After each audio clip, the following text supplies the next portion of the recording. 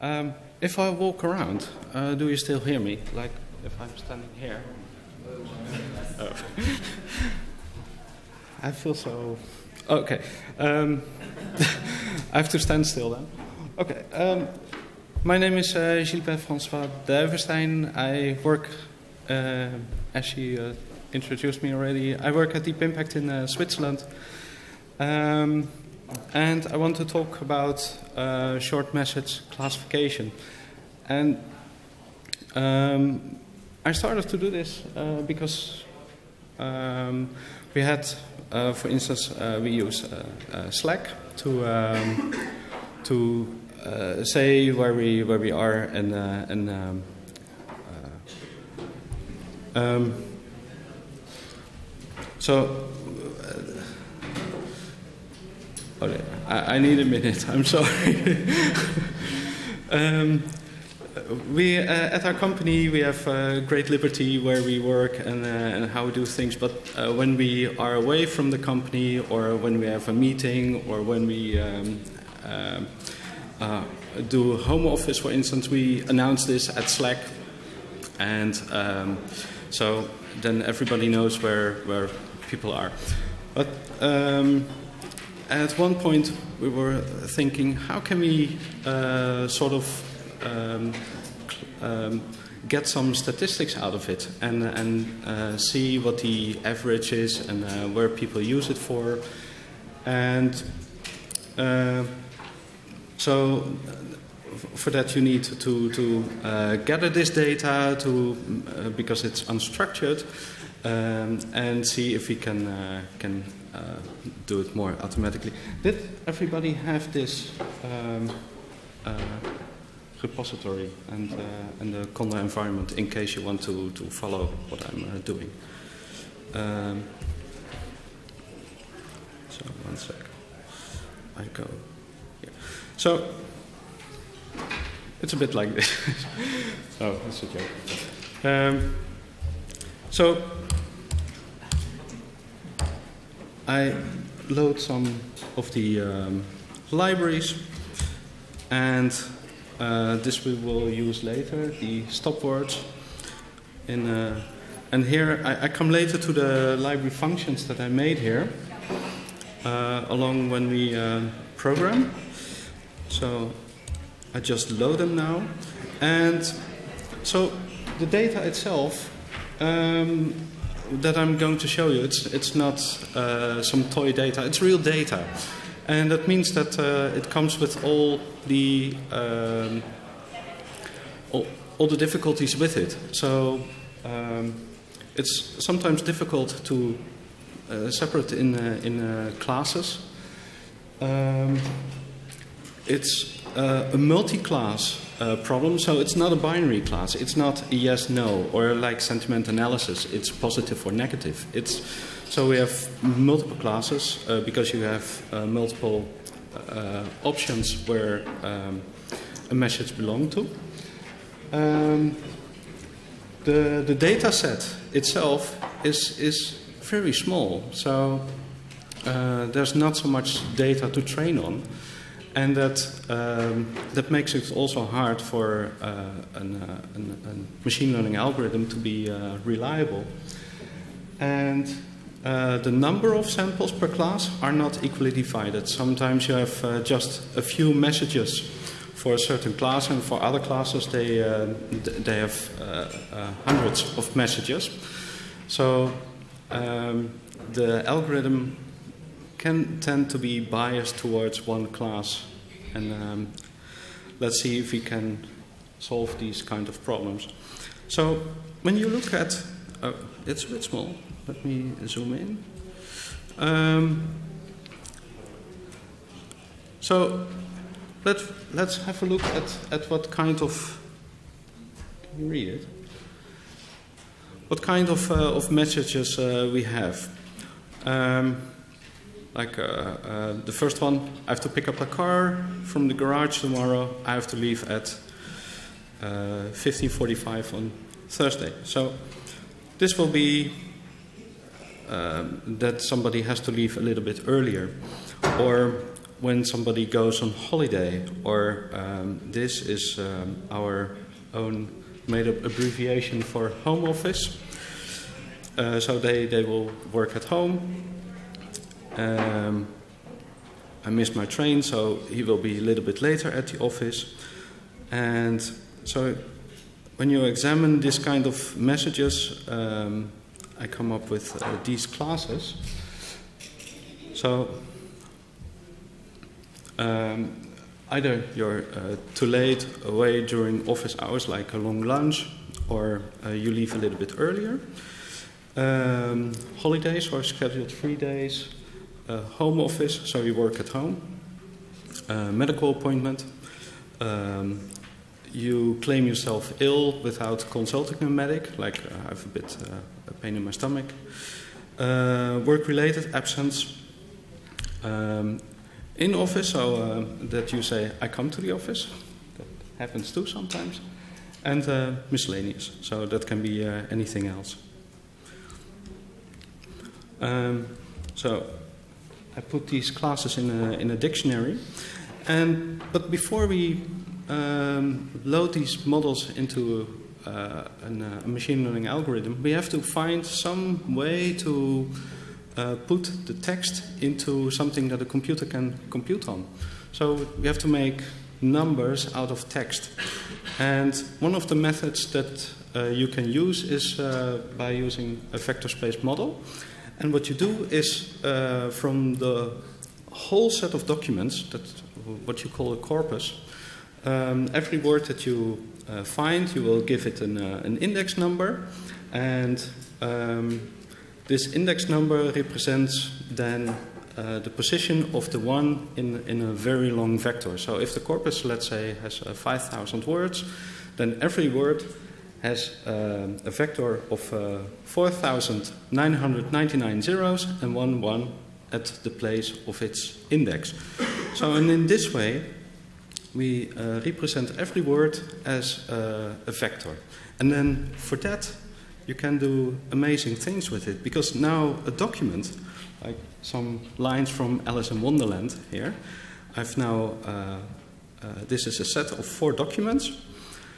Um, we can put um, all these words into vectors and then the documents in uh, vectors too. So First, what we do is uh, every word we give it uh, an index. So um, I made it a little bit smaller, so I uh, remove already the stop words. I explain later what, what that means. Um, and then uh, you see that um, from this corpus, uh, you see here uh, some words with an, an index. And if we look at then the document, then um, use, uh, then every uh, document, so all the words, we uh, the vectors we add, and uh, the document itself is a vector where every word has been counted into a new uh, vector. Um, so for instance, here you see the word, uh, a, a, word that appears uh, three times, and that's probably uh, on position six, so that's mad. And if you look at um, this line, this document, indeed the word mad appears three times. So you count the words. It's um, and so if I have new documents now, and I want to uh, fit them in this uh, vector space model, all the words that are um, not represented yet in this uh, vector space model, they will be um, counted as uh, zero. So in this case, only Alice and cat are represented in the vector space model. All the other words will be uh, zero. So that's why you see those documents represented as uh, largely zeros, and only the words that were known are the ones. So this vector space model has a fixed size then as soon as you uh, uh, set it up. But you can, if you want, um, expand it later, but then most of the time you have to retrain your model. So I'd like to make an intermezzo here because with this vector space model you can do really amazing things. And you can, for instance, make uh, a search engine. Um, so let's say again that we have this set of uh, four documents and we call it D. So, and let me split this. Um, and indeed, we have here the uh, same uh, matrix with the four documents. Now, let's make a query. And I split here again. So let's make a query where um, I ask the question, is Alice mad? Right. So this query is now represented as a, as a vector with um, once on uh, in the vector space model where I count the word uh, Alice and mad. And now I do a dot product. So let me split it here to show you. I do a dot product, and what has uh, what what I end up with is uh, uh, if I now sum in this direction. So when you sum in that direction, then you have a score for um, how well your search has been played out. And so, and indeed, um, this document has a score now of 3, and what I see here is the answer for my question is Alice mad? And oh, you can't help that, said the cat. We're all mad here. I'm mad, you're mad, so that's your answer. and um, I can make another uh, query, like. Uh,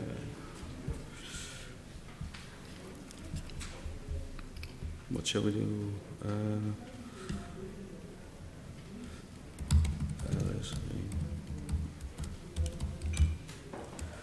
so let's see what.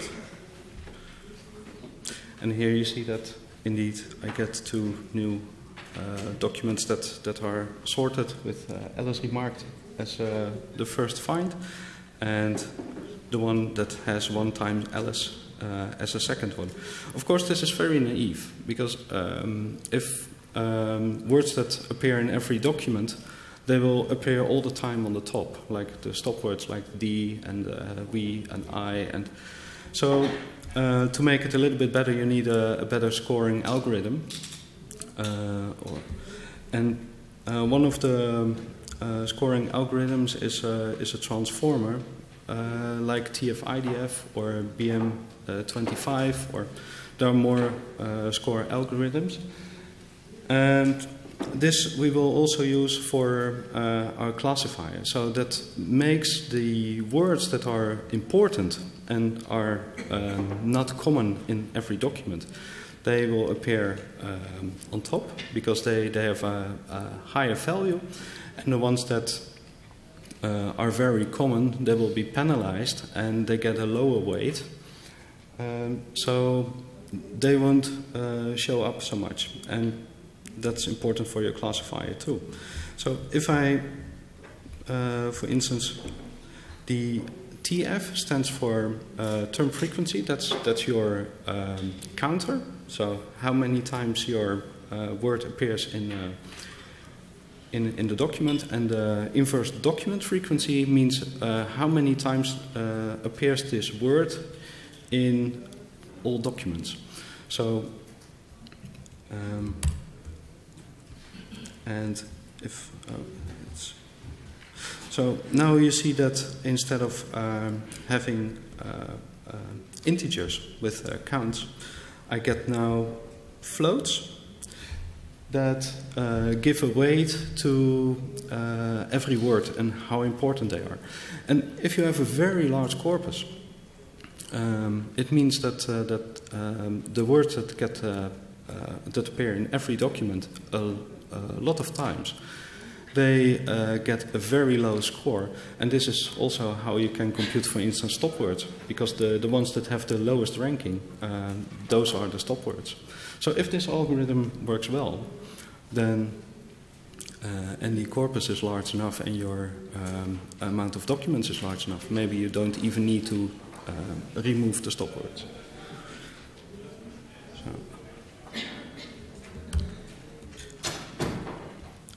So stop words are the words that um, appear uh, in, uh, in, in many documents.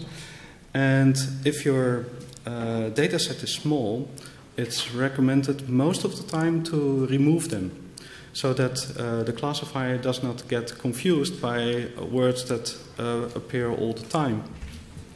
But um, there are some, uh, so this is the stop word list for uh, what is uh, built in in NLTK. the count vectorizer has a, a stop word list as well and that one is a little bit larger. So you have to find out which one uh, works best for your case to see um, which, uh, which, if you want to uh, get rid of them, which list you want to use, if you want to do it at all. Um,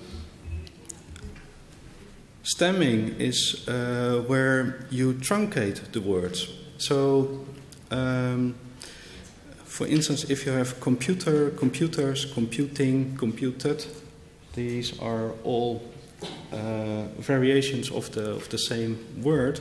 If I stem this now, then you see that um, all these words get the, the, the same shape, and that will help your classifier if you have, uh, especially when you have a small data set because then um, it, it can recognize it more and give, can give more or less weight to it. So let's see now, we have a bit of the, the building blocks that we can use to, um, to uh, start our classifier. Now, uh, Let's load the data. This is the data that, uh, that I've showed you, but now it's annotated with uh, classes here. Um, and this is done by hand. So um, you have to sit down and then go through the list and annotate some, uh, some data. Um, it's a bit of a tedious task, but there's no way around it. Then I um, use here the, the X, your input. That's the text column, this one. And the Y is your class. So that, that is the predicted output. I will split it. And now to, um, to start with your model, uh, I recommend really to do the very simple basic thing first. So um, in this case, it's, it's the count vectorizer and then uh, a classifier. And for this one, I chose linear um, support vector machine. And this choice is um, uh, because for uh, in this case, really, it's it's very hard to beat the linear support vector machine. So, and when I train, you see that on the cross validation, um, I've already um, uh, a mean score of uh, 81%, and on the test score, 82%. So it means that the classifier um, has done quite a good job because it's not overfitted. It, uh, the, the score from the training and the test set are more or less the same. And you will see uh, during this talk that uh, uh the 82% is already quite good, and we haven't done almost anything. I mean, um, all the, the steps that we did here uh, to, to uh, potentially improve it, we, we did not use. So, um, it's, I think, always a very good idea to start with the very basics and uh, to improve from there. Because the very basics you have done in, in uh, um, a very short amount of time, so with annotation maybe uh, in less than a day, and then you can um, spend a lifetime on, on improving it from here. So, uh, but let's look at, at what has been done here. So, um, you can do these steps uh, all by uh, by hand and, and put it in in uh, in your code. But um, scikit-learn has a has a great way to um, compact it and to put it all together, uh, and that's called in, uh, a pipeline. So if I go to this helper function that I made. Um, you see that uh, I call here the pipeline and the steps. And these steps is um, a list of tuples where you um, give it a name and uh, the object that you want to, uh, uh, to, to put in this. And um, I see that I forgot one thing. So let's go back to, um, to the training results and uh, plot the um, confusion matrix. And here you can see, uh, except for the uh, in office one, um, that there's already a strong diagonal there. So the classifier does really quite a good job or, um, on this, on this um, simple model. And so if you want to look into the pipeline, the pipeline is not a black box. It's, uh, you, you, can um, open this and, and look inside with the get parameters. And here you can see the things that you have put into. So the steps. Um, here's the, uh, the steps with uh, the list with the tuples that you give. And here, so you see the vectorizer and the classifier. These are part of a, um, a, dictionary. So you can now ask for, for instance, for the vectorizer to, to get this object from the pipeline uh, by just calling it as a, as an, uh, uh, a dictionary and um, transform a new, uh, new document to, um, to uh, a bit set. Now, uh, we talked earlier about this uh, uh, term frequency and inverse document frequency to make the common words less important and the rare words, so the, the special words, more important. And so let's see how we can improve our classifier with it by just putting it inside our pipeline. So we first um, vectorize it with the count vectorizer, then we transform it with the uh, TF-IDF transformer, and then we do the classification with uh, linear SVC. And as you can see, indeed, it improves a little bit. So we have now a cross-validation mean of uh, 83% and, and a test of 84%. Uh, but it's not huge. It's um, if we do the stemming, so if we do the stemming, so the, the to, to truncate the words, to see what the effect of that is. Um, it goes a little bit up again. And now we can even remove the stop words. So, how does this improve? It does not improve. And that's funny. And one of the reasons can be that if we look at the stop words, so let's go back to the stop words, you see that things like I, me, myself, we, ours, ourselves, these words uh, go away. And with the short messages, maybe these are important. Like um, if you say, I do home office because he is ill, uh, that you have to stay home because your kid is ill, or um, it means something different than I am ill. So removing stopwords, you have to think if it's really helping or uh, going against you.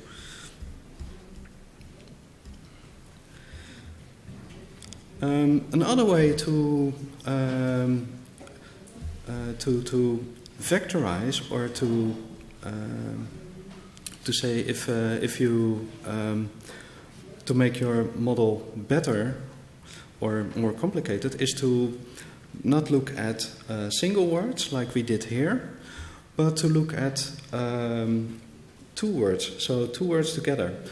And that makes a little bit of sense because um, if you look at two words together, home and office, um, that's not the same as um, uh, home office as, as one uh, term. So, what you can do is you say uh, range is 2 out of 2.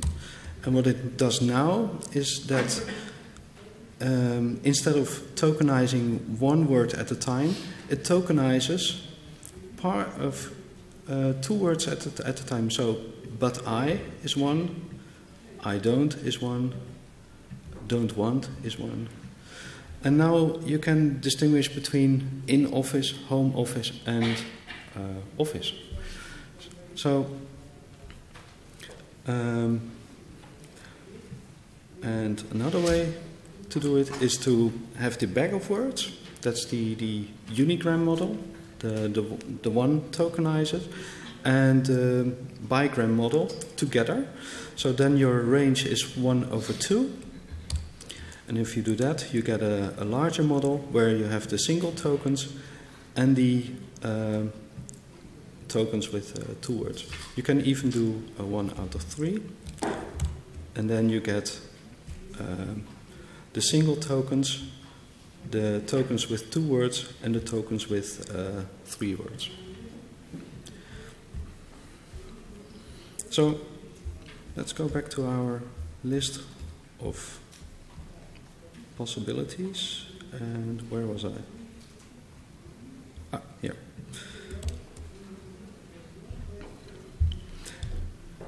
So I dropped now the stemming and um, the, the stop words, and I just used the n-gram. So we have to compare it with uh, this one. So here the um, score on the dev set is uh, 83 and uh, on the test set 84. If we look at the n-grams, when we use uh, 1 and 2, 83 and 85. So it can help, but it's not uh, obvious. And if you do uh, 1 out of 3, in this case the uh, score on the test set is 86. On the dev set it's still 83. Um, but if you look at the range, then here it goes from 79 to 86 and here 80 to 85. So the, the range tends to be uh, tends to go a little bit smaller. So there's no clear winner here. And if we use it all together, oh, there's, there's one, one that I want to.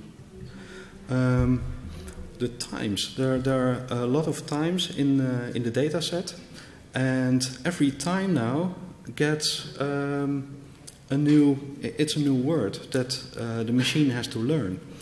So, uh, but for us, a time is just a time. So uh, between uh, 9 or uh, 9 p.m. or 900 or 905.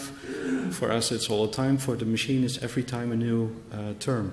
And what you can do to mask this is um, so here I do some um, regular expressions where I mask the time. So I, I try to find the times in the in the data set and do a bit of cleaning where I um, annotate it with uh, uh, this word, capital time. And the emojis, like uh, the smileys and the things, um, I uh, clean as well. And have here the emojis as um, um, as a tag too. So, and the integers. So if I see numbers, because um, I stay three hours out or five hours, or um, so a number can be um, uh, also masked, which could help the classifier. So if I mask some of those terms, um,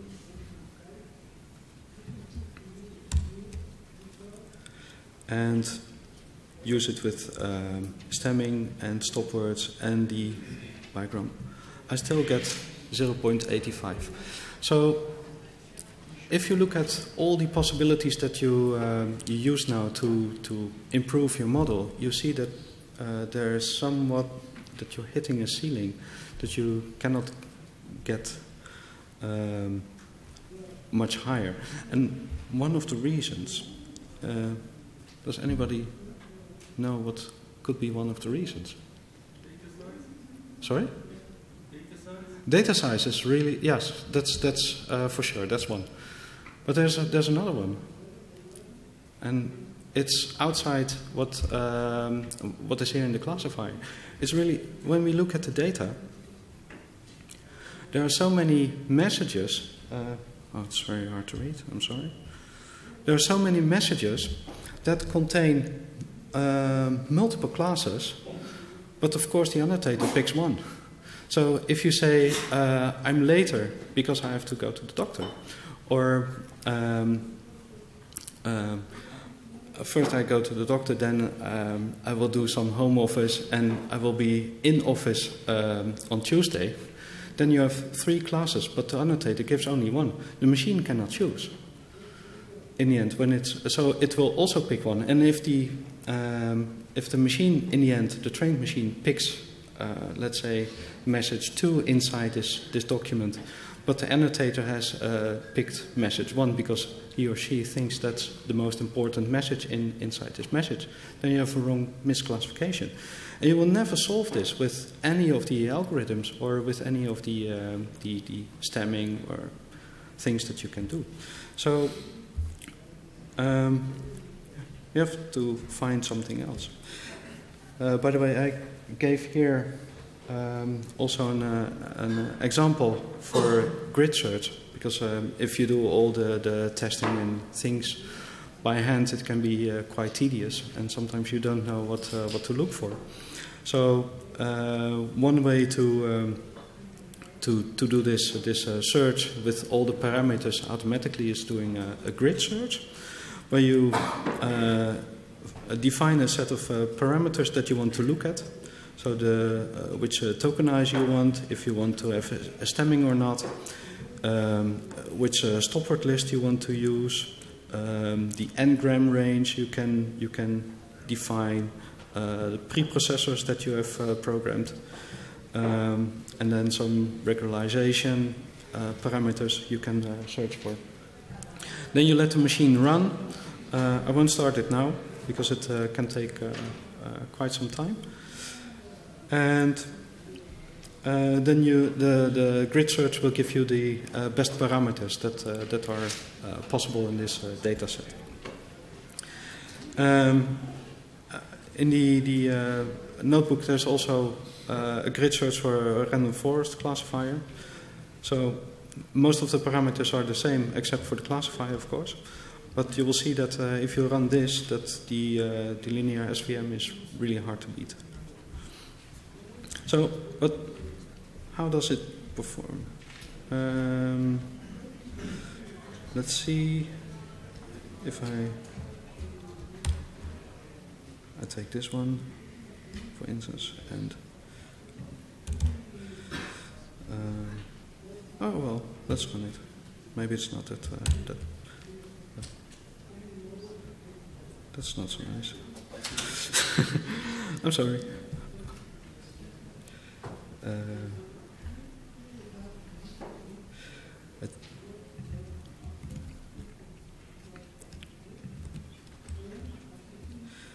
so um, I picked one model and um, here I put in new uh, documents and this is what the classifier comes up with. And I think it's pretty good. I mean, my alarm clock was not so probably I come to the office as soon as possible. It's classified as uh, late and early. It's my scheduled day off. I see on Tuesday it's uh, some kind of holidays. I'm not feeling well, I stay at home, etc. So um, even the model is uh, super simple. You can make already some sense out of this, this data. Um, but like I said, the problem is that uh, some messages really have um, multiple classes. And I will show you uh, some ways to, uh, to solve this.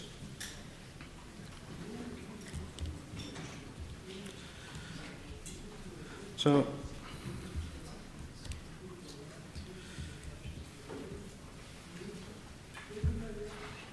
is it loaded? Yes. Okay, let's do the libraries again, the helper functions, load the data. Now, so we have still the same uh, data set annotated with um, a single class. So the, the annotation has not been changed, the data has not been changed. And I'm going to predict now with uh, uh, every message with multiple classes. So, and one way to do it is uh, not to predict the uh, exact class, but the probability of every class. We have to change the um, linear SVM to SVC. That's, uh, that's also support vector machine classifier, but with a linear kernel. So it's almost the same. The implementation is a bit different, and the um, uh, predictions can be a little bit different because uh, of a different implementation. But in the end, it's almost the same. So when we train it, and again, this is the most simple uh, model again. It's just the count vectorizer, no tricks done. Uh, sorry, count vectorizer and the um, support vector machine classification. So we have a score of um, 80. That's uh, more or less what the low score, but let's see how it performs now. So I have now um, uh, one document, I do home office, and let's instead of uh, saying predict, you give the uh, tag predict probability. Let's put it in. And what you see now is here the uh, probability of every class. And um, you can put the threshold yourself. So the, the class that goes above the threshold uh, is probably the class that you're looking for. So in this case, indeed, home office uh, gives me the, the highest probability. And um, for that, I would say that's indeed the predicted class. So the uh, let's have a document here that is a bit more tricky. So I go a bit earlier that's uh, class one. Then I have an appointment at the doctor. That's class two. And then I will do home office. So I have three messages now in one document. And let's see how it performs here. And so this is your um, predicted output vector with the uh, probabilities. And if you plot it but if I now say the uh, threshold is uh, at 0.2, you will miss one class. So what I suggest here is to compute a dynamic uh, threshold uh, instead of uh, a fixed threshold, where you take the maximum of your probability, then divide it by 4. That means that you can uh, more or less um, predict three classes because all the other, uh, so the rest is, is then uh, for four. And indeed, then uh, you get with this simple trick um, uh, a multi-label, multi-class uh, predictor. And you didn't do anything with uh, uh, the data or new annotations. Um, another trick is to uh, use a one versus the rest classifier. So now instead of uh, training one classifier, you train um, for every class uh, a new classifier. So it's eight classifiers. And um, you have to annotate the data again and try to um, uh, annotate every message with uh, the classes that you see. So here you see a, a new column that's called uh, multi-class, where uh, inside there's a list of classes that you will see in this uh, message. And but uh, then uh, the machine needs um, instead of a list of, of uh, classes with uh, integers, it needs um, a vector with um, zeros and ones so that it has all the same shape. So you end up with uh, the number of, uh, of messages and um, the number of uh, classes in a, in a bit set. And this vector, it's not a one hot vector, it's a, a vector where you can have multiple ones inside your vector. So then we train and test. And it takes a little bit longer because it has to um, train our eight class classifiers. And now you see that the uh, score looks really low. But is it really that bad? Um, the problem here is, of course, that um, what happens is that if an annotator gives here uh, three classes and the machine finds only two or maybe four, the whole uh, classification has been uh, uh, uh marked as wrong. But it doesn't have to be so wrong. So, um, so when we have uh, a look at some of the predictions, like um, I just get the confirmation for my appointment in the morning. Uh, on Monday, I will be off in the morning and do a home after office after lunch. So the true prediction here is um, uh, home office and uh, miscellaneous. So that's uh, that's uh, blah blah blah blah blah. The machine only sees uh, home office. So this is not a really bad prediction. Um, here, um, I'll be away from the 23rd to the 3rd of December. Um, it's predicted as, uh, as uh, too, uh, too late or too early or um, not in office. In fact, it's a holiday, so this is really a misclassification. Um, here, so let's say, uh, oh, here, this is an interesting one. Um, my wife has a doctor's appointment today afternoon, so I will be in the office later after lunch. So, um, it is predicted as um, home office and a medical appointment, but the machine gives only a medical appointment of the, the annotator only annotates medical appointments. So in this case, the annotator was wrong and the machine was right. So this can happen too. And it affects, of course, your score. So again, when we do some tests and look at what it predicts with this uh, machine, you see that, uh, well, I don't feel well stay um, I don't come to the office, it predicts one label ill. Here, uh, it's my scheduled day off, I see you on Tuesday. It predicts holiday and in office because you come back on Tuesday. So I think it's not bad. It's, it's really not bad. So um, my message here is that the score numbers uh, do not tell you anything, uh, everything. It, it, you also have to look at the results and really uh, examine the data and some of the misclassifications to see if it's really that bad. And in most cases, it's not.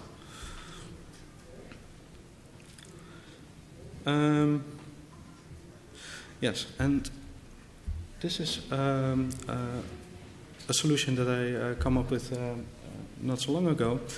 Um, actually, what the problem is for the misclassifications here is that you have uh, messages which are uh, long and can contain multiple classes. One way to um, to uh, solve this problem is to cut it in separate, smaller problems, and the um, yes. So um, most of the time, uh, one message is contained in one sentence. And um, the document itself can contain multiple sentences. So, what you can do is uh, tokenize first the sentences and then uh, classify every sentence. But NLTK, the, um, the, the, the, library that has a sentence tokenizer in it, it um, it's, it's very careful with uh, sentence tokenization. So what it does, it uh, probably uh, tokenizes only on the, on the punctuations, and um, so if we load it, and um, let's see, uh, we, we have here two sentences of uh, Alice in Wonderland again, and here I've um, a sentence that is clearly marked with uh, with a comma, and oh, sorry.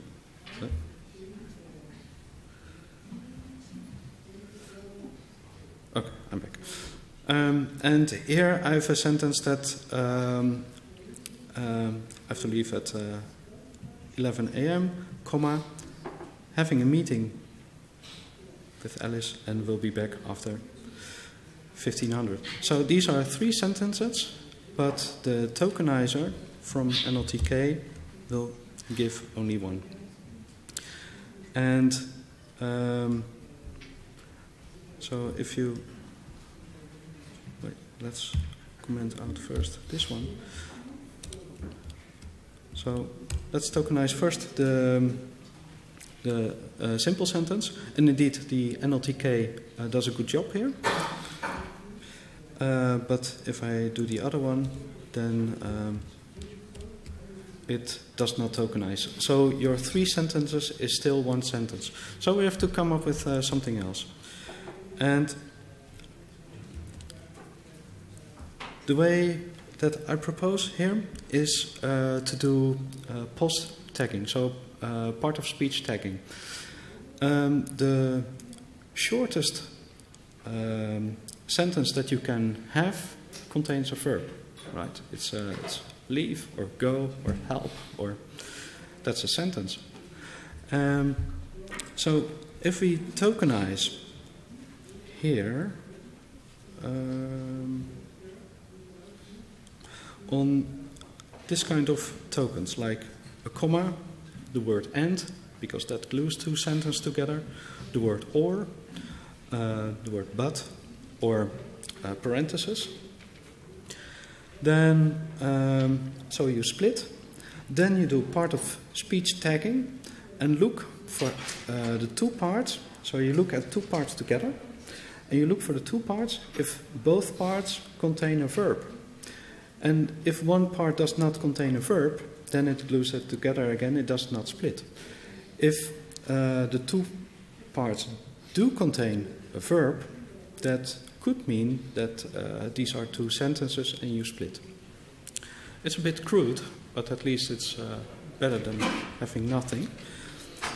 And I think if you want to do a good sentence uh, um, tokenization, you can get your PhD with it. So um, this this uh, this this um, uh, sentence splitting is uh, is like I said very brutal, but you will see that it uh, it works quite well.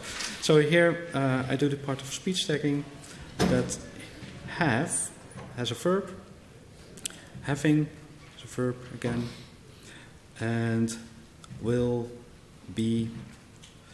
So these are verbs. So if I uh, split this now with uh, the proposed uh, method, then first you see the NLTK still gives you one sentence, and uh, this new proposed method gives me three sentences. And now I can uh, tag it very easily. I have a meeting. I have to leave around 11, so that's uh, class 1. I have a meeting, that's class 2. And uh, we'll be back after, that's class 3. So, okay, we have the data. Um, now we do the, the sentence splitting. Then you go back to uh, annotation. And um, here you see that indeed uh, this sentence has been split now in, uh, in two. Here I have uh, one message has been split in uh, three, and, and so on. Then, when you're done with uh, annotations, you um, load and um, shall I do this? Let me.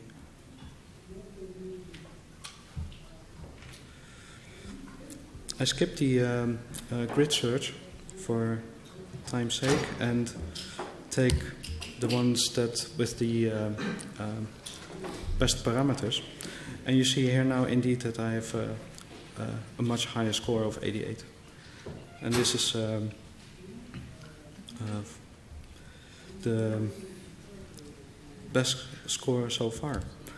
So if you look at the F1 score, it's, uh, it's really not bad. And if you look at the confusion matrix, the diagonal is, uh, is dark, which is good. And even the uh, in office now, that uh, in the first um, uh, model was almost all misclassified, now is, is almost well classified in 87%.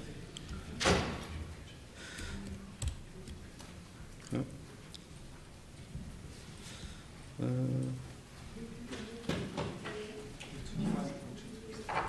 yes, I think I forgot to run one cell somewhere. Sorry? Did I miss it? Ah. No, no. It's huh? multi-level 3. Just above you. Oh, yeah. I'm sorry. Yes.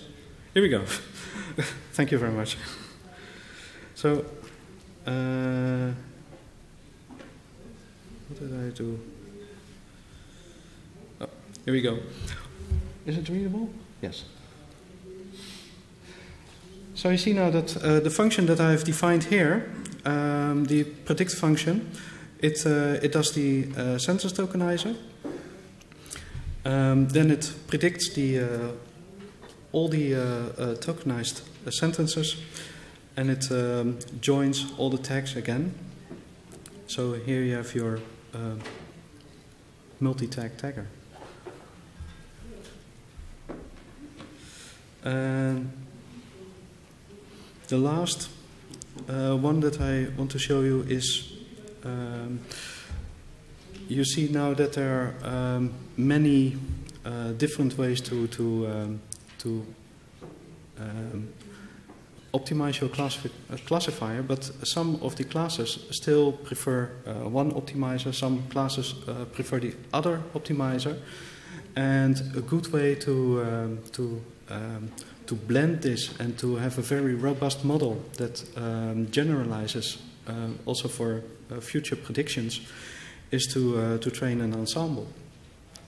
And here um, I, I have an ensemble of uh, different classifiers with uh, different um, settings. And so if I start to train this, it will take a minute, I think.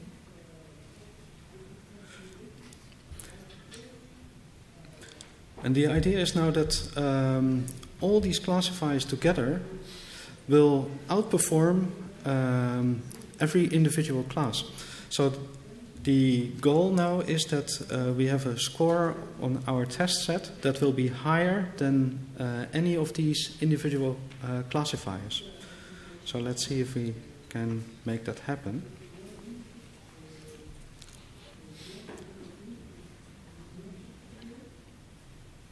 sorry, we have to wait a bit. sorry, um, so each class is getting the best model for that class. It's working out which one is better. Is that what's happening? No. So uh, these um, so these classifiers are uh, classifying all classes, and um, but some of the classes uh, they, uh, uh, for instance, they, they don't like the TF-IDF. some classes don't like the, the bigrams. some classes they um, they prefer um, to have stemmed or non-stemmed, and but to to have the best of all is to to uh, blend them all, more or less. Uh, so now you see that we have uh, one, two, three, four, five, six classifiers and the maximum score is uh, 87. I put them in a pipeline um, of, or a list of, of um, pipelines, list of models, and now I start to uh, predict every uh, document uh, throughout all classifiers, uh, count the uh, or add all the probabilities, and then take the maximum.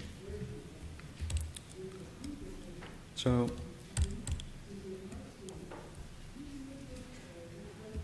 And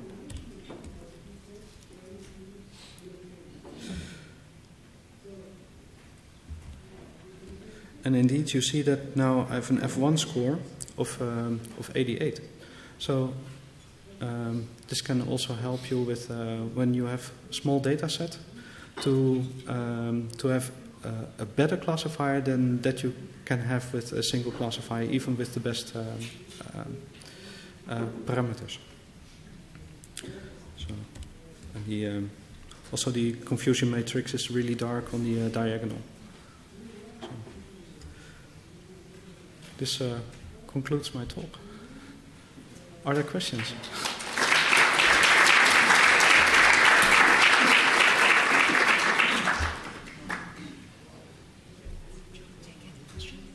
Huh? Yeah, of course. Um, thanks, Cuba. Yep. Sorry. Um, yeah, I just wanted to ask, like, so do you have to have a miscellaneous? Because when you were comparing uh, like uh, your own your own uh, classification versus like the predicted, like mm-hmm. it seemed that that was the one which was often the kind of grey area. You know, you would say that it was you know home office and like it was home office and a bit of miscellaneous, mm-hmm. and the classifier would just say home office. So it seems like miscellaneous is kind of like a separate category altogether. And I guess my question is like, do you need it? Yes. no class? Like, um, well, I did not try no class, but what I found out is that um, um, uh, if, if, somebody says, uh, I don't feel well, I stay at home, uh, you see a lot of messages after that, like, uh, oh, uh, uh, well, get well soon, or um, something like that. And um, most of the time a classifier always gives you uh, a class. If you work with probabilities, probably not. But if you work with uh, linear SVM, I think it gives you always a class. So it's better to have, like, let's say a def null that, that you can put all the um, things that you don't classify in, in, a, in a new class. And you can make it more robust even with um, uh, putting it sentences in that uh, do not occur in your dataset.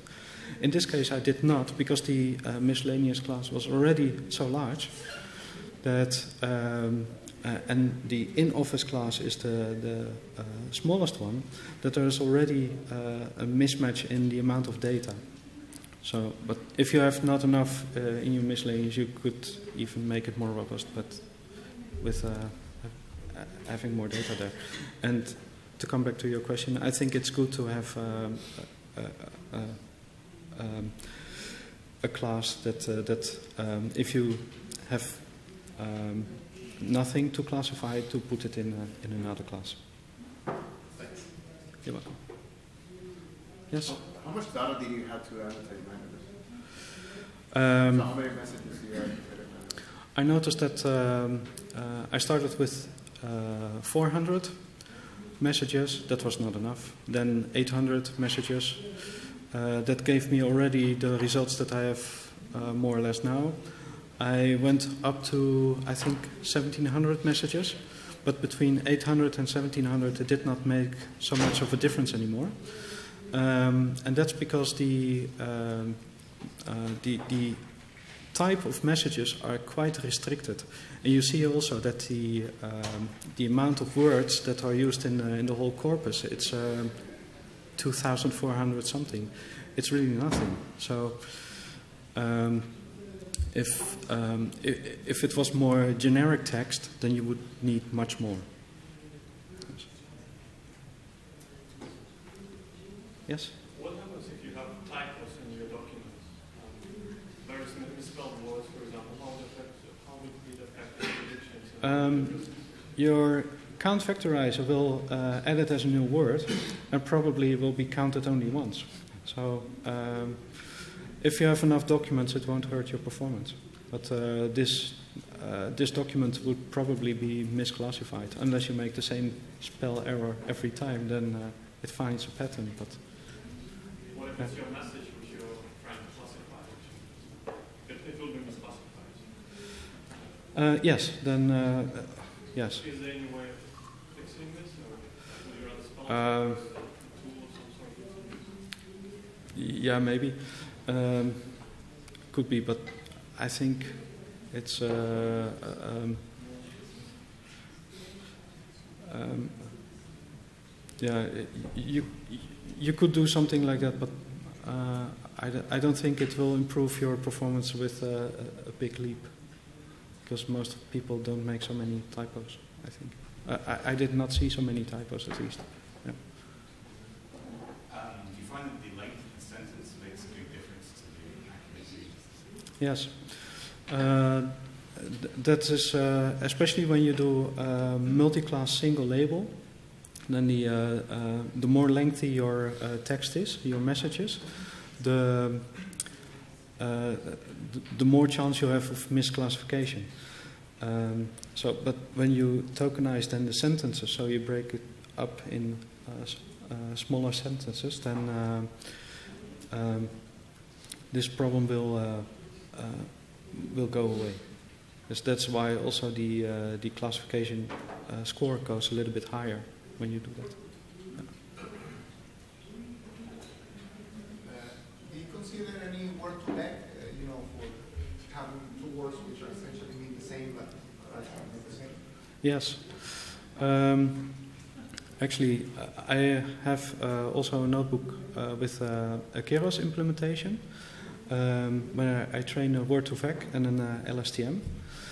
Um, but the score, um, if you have, uh, uh, if you train your word to vec yourself, the, the embeddings yourself, or have a pre-trained uh, model, you can do both. Um, they have both dis- disadvantages. Uh, first of all, the dataset is uh, way too small for, um, for, for a neural network. So what I end up with is uh, that you have to do early stopping because uh, if you train forever, your score uh, your, on, on your dev set will be about uh, 99.999, and on the test set it will be a, a random guess. it's, uh, it's really bad. Um, so you have to do early stopping to, to have those more or less in balance, but then you end up with a, a neural network that is not fully trained. And um, what you see is the effect of, uh, of your random initializer. And to overcome that, you can again train um, an, um, an ensemble and about eight machines that give uh, that gives a performance of a maximum of 83 percent or uh, an F1 score of 83. Um, and so that's when you um, do your training your, of your embeddings yourself. If you use uh, pre-trained embeddings and then uh, just add the words that uh, were in your uh, corpus and then uh, slice those, those vectors in your embeddings that you want to use, you will see that the score is much less uh, or much lower because the words that have been used in this training set, like abbreviations like HO for home office or home office one word, it does not appear in the word to vec pre-trained uh, embeddings. So these are all misclassified. And um, uh, that's a bit of a problem. And so for this data set, I would not recommend uh, to, to use embeddings because uh, the data set is way too small for that. Could you, could you use the embedding with SVM? Uh, that I did not try out. So uh, maybe you can, but uh, some of the uh, disadvantages that you have uh, for a neural network still are uh, valid for uh, for the SVM. Yes. Yes. Do you see any differences between different languages? Um, good question. Um, it should work for uh, for other languages as well because uh, I did not add any um, language knowledge into the model except for the stop words. I used an, uh, an uh, English uh, list, but the stop words in this case uh, do not make such a difference. So I have trained um, a German data set for um, for our company once, but that was for a neural network. I think it should work also for uh, for other languages. I, I don't see the point why it should not. Yeah.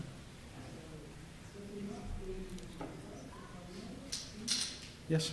Did you consider the author of each message? Your there that you provide in certain way?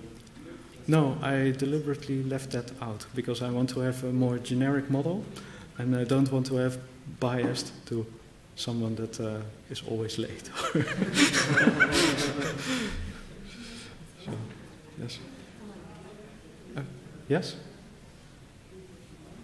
Yes. Hi, um, I have a project similar to this, and I get no accuracy improvement by using biotrigrams compared to just unigrams. Yep. Do you do have any thoughts why that would be? Because that seems counterintuitive. Um, so why, uh, if if I uh, understand well, why I don't see any improvement in bigrams or trigrams? Is that Yeah, so for my specific project, yes? when I try to incorporate biotrigrams as Yes. just unigrams, I get no performance improvement. Yes. I'm surprised by that result. So do you have any explanation why that might be? Um, yes, that can be uh, if um, I don't know your data set or the size of the data set, but especially when the data set is small, it means that uh, most of the bigrams or the trigrams uh, are unique. And um, if that is the case, then the classifier just sees it once and, uh, and cannot do anything with it. So if your data set is, uh, is very large, like uh, you train Wikipedia, then it should give a, a, a large improvement. But if the data set is super small, or like here, the, there's almost no uh, improvement on that because the, most of the bigrams, uh, especially trigrams, they are unique in, uh, in your, your uh, count vectorizer. So, yes? Uh, well, it's a little bit of a follow-up question to mine and uh, the, the recent one. Because if you have different grammars in different languages, like for example you said German now, Yeah. where you have to split certain verbs, bigrams or trigrams or so on, they, they, they wouldn't work, they wouldn't improve anything because the words are basically on different ends of the sentence. Yes. So that's why I also asked with different languages, because in principle the grammar should have a huge impact on your, on your uh, model. Um, yeah, it can be. Yeah, I, I should do more with that uh, to, to answer it uh, correctly. Yes.